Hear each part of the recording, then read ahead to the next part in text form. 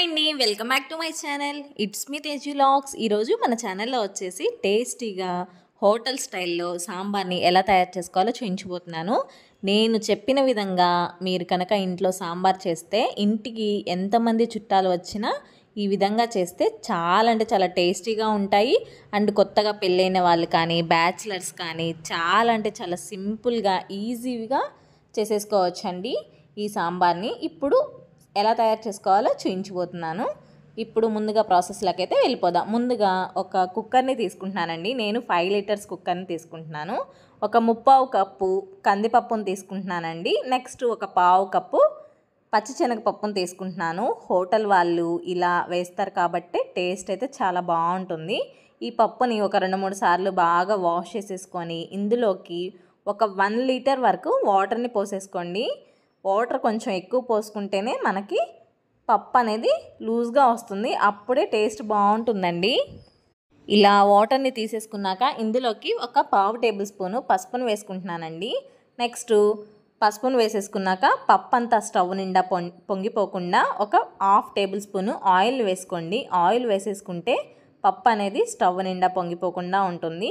ఇలాగ ఆయిల్ పసుపు అంతా పప్పులో మిక్స్ అయ్యేలాగా బాగా మిక్స్ చేసేసుకొని కుక్కర్ మూతకున్న రబ్బర్ని విజిల్ని పెట్టేసుకొని స్టవ్ మీద పెట్టేసుకొని మంటని మీడియం ఫ్లేమ్లో పెట్టేసుకొని నాలుగు లేదా ఐదు విజిల్స్ రానివ్వాలండి. మీరు పప్పు తీసుకునే క్వా క్వాలిటీని బట్టి ఐదారు విజిల్స్ అయినా పెట్టుకోవచ్చు. చూడండి ఈ విధంగా మంటని మీడియం ఫ్లేమ్లో పెట్టేసుకొని స్టవ్ మీద పెట్టేసేయండి. ఇప్పుడు ఒక గిన్నెలోకి ఒక thirty to thirty five grams చింతపండుని తీసుకుంటున్నానండి.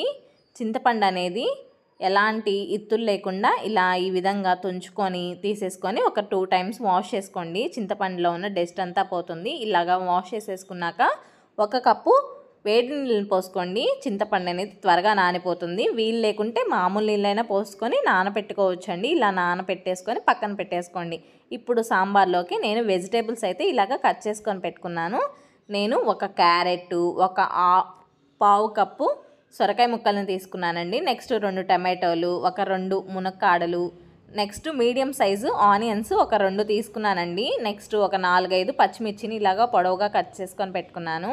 మీ దగ్గర మునక్కాడలు లేకుంటే ఆ ప్లేస్లో మీరు బెండకాయలను కానీ దొండకాయలను కానీ వేసుకోవచ్చండి. నెక్స్ట్ మీ దగ్గర ముల్లంగి ఉంటే ముల్లంగి కూడా వేసుకోవచ్చు. వెజిటేబుల్స్ అన్నీ మీ ఆప్షనల్ అండి. ఇప్పుడు పప్పు ఉడికిందో లేదో చూసుకుందాము. చూడండి ఆయిల్ అనేది వేసేస్తే పప్పు అనేది ఇలాగ పొంగిపోకుండా ఉంటుంది.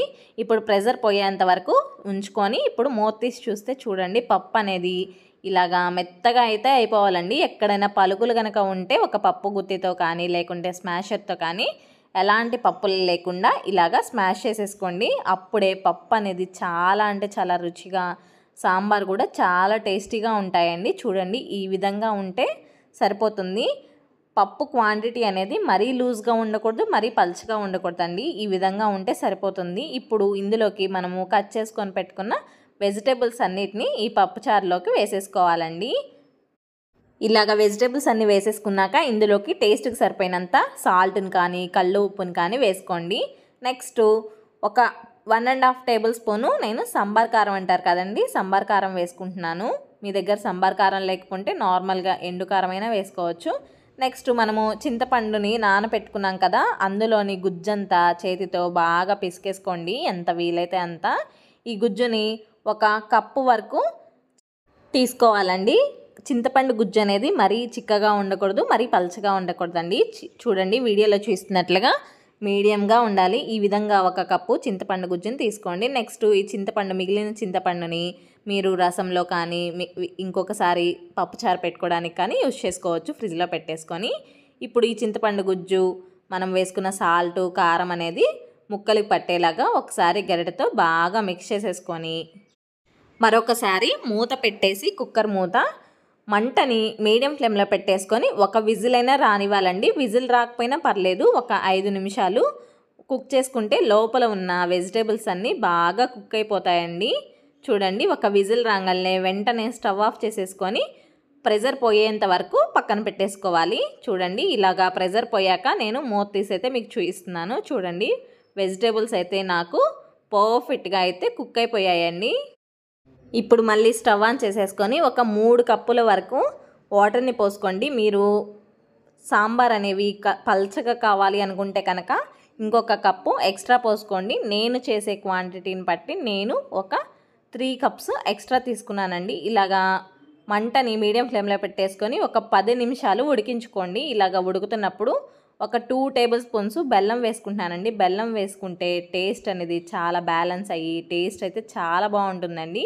ఇలాగా సాంబార్ మరుగుతున్నప్పుడు లేతగా ఉన్న కరివేపాకులను తీసుకొని ఇలాగా మరుగుతున్న సాంబార్లోకి వేసేయండి. టేస్ట్ అయితే చాలా బాగుంటుందండి. ఇలాగా పది నిమిషాలు ఉడికించుకుంటే సాంబార్ అనేది పర్ఫెక్ట్గా కుక్ అయిపోతుందండి. ఇలాగా పది నిమిషాలు మరిగించుకున్న తర్వాత ఒక్కసారి కలిపేసేసుకొని కొద్దిగా లాస్ట్లో కొంచెం సన్నగా తరుగుకొని పెట్టుకున్న కొత్తిమీర వేసేసుకొని స్టవ్ ఆఫ్ చేసేసుకోవటమే అండి కొత్తిమీర వేసేసుకున్నాక ఒక్కసారి గరిటతో బాగా కలిపేసేసుకోండి.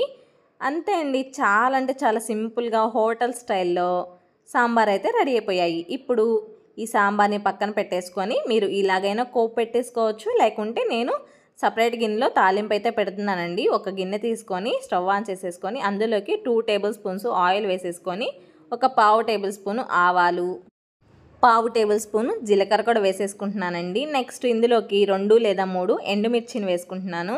ఇలాగ రెండు ఎండుమిర్చిని వేసేసుకున్నాక ఒక మూడు లేదా నాలుగు కచ్చా పచ్చాగా దంచుకున్న చిన్నుల్లిపాయలను కూడా వేసేసుకొని ఒక్కసారి అంతా బాగా కలిసేలాగా ఆయిల్లో బాగా మిక్స్ చేసేసుకొని రెండు లేదా మూడు రెమ్మల కరివేపాకుని తుంచుకొని వేసేసుకోండి.